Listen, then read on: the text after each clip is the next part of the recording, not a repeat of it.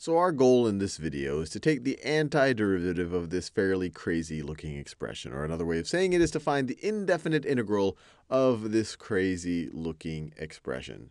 And the key realization right over here is that you this expression is made up of a bunch of terms. And the indefinite integral of the entire expression is going to be equal to the indefinite integral of each of the terms. So this is going to be equal to we could look at this term right over here and just take the indefinite, take the indefinite integral of that, 7x to the third dx. And then from that, we can subtract the indefinite integral of this thing.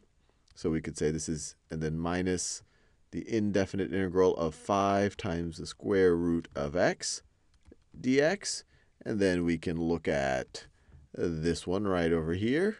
So then we could say plus the indefinite integral of 18 square root of x, square roots of x over x to the third dx. And then finally, and I'm running out of colors here, finally, I need more colors in my thing, we can take the antiderivative of this. So plus the antiderivative of x to the negative 40th power dx. So I've just rewritten this and color-coded things. So let's take the antiderivative of each of these. And you'll see that we'll be able to do it using our, whatever we want to call it, the inverse of the power rule or the anti-power rule, whatever you might want to call it. So let's look at the first one. So we have, we have, what I'm going to do is I'm just going to find the antiderivative without the constant, just add the constant at the end for the sake of this one, just so we, we make sure we get the most general antiderivative. So here the exponent is a 3, so we can increase it by 1. So it's going to be x to the fourth. It's, let me do that same purple color, or that pink color. It's going to be x to the fourth, and we're going to divide by x to the fourth. So it's x to the fourth over 4 is the antiderivative of x to the third. And you just had this scaling quantity, the 7 out front, so we can still just have the 7 out front. So we get 7 x to the fourth over 4. Fair enough. From that, we're going to subtract the antiderivative of this. Now, at first, this might not be obvious that this you could use our inverse power rule or anti-power rule here. But then you just need to realize that 5 times the principal root of x is the same thing as, so this is the same thing as 5 times x to the 1 half power. And so once again, the exponent here is 1 half. We can increment it by 1. So it's going to be x to the 3 halves and then divide by the incremented exponent. So divide by 3 halves. And of course, we had this 5 out front, so we still want to have the 5 out front. Now, this next expression looks even wackier, but once again, we can simplify a little bit. This is the same thing. Let me do it right over here. This is the same thing as 18 times x to the 1 half times x to the negative 3 power x to the third in the denominator is the same thing as x to the negative 3.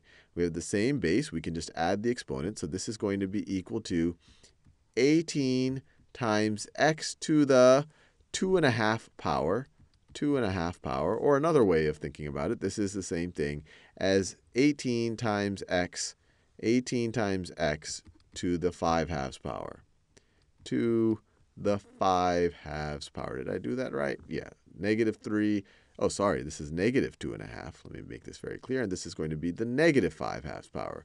x to the negative 3 is the same thing as x to the negative 6 halves. Negative 6 halves plus 1 half is negative 5 halves. So once again, we just have to increment this exponent. So negative 5 halves plus 1 is going to be negative 3 halves. So you're going to have x, x to the negative 3 halves and then you divide by what your exponent is when you increment it. So divide it by negative, divide it by negative 3 halves, and then you had the 18 out front. And we obviously are going to have to simplify this. And then finally, our exponent in this term, let me not use that purple anymore. Uh, the exponent in this term right over here is negative 40. If we increment it, we get x to the negative 39 power all of that over negative 39. And now we can add our constant. Now we can add our constant. See, and all we need to do is simplify all of this craziness. So the first one is fairly simplified. We can write it as 7 fourths x to the fourth. Now, this term right over here is essentially negative 5 divided by 3 halves. So 5 over 3 halves is equal to 5 times 2 thirds, which is equal to 10 over 3. So this thing right over here simplifies to negative 10 over 3 x to the 3 halves. And then we have all of this craziness. Now 18 divided by negative 3 halves, 18 divided by negative 3 halves is equal to 18 times negative 2 thirds, which is equal to, well, we can, we can simplify this a little bit. This is the same thing as 6. This is the same thing as 6 times negative 2, which is equal to negative 12. So this expression right over here is negative 12 x to the negative 3 halves. And then finally, this one right over here, we can just rewrite it as, if we want, we could, well, we could just write negative 1 39ths x to the negative 39 plus plus c. And we're done. We found the indefinite integral of all of this craziness. And I encourage you to take the derivative of this, and you can do it using really just the power rule, to take the derivative of this and verify that it does indeed equal this expression that we took that we took the antiderivative of.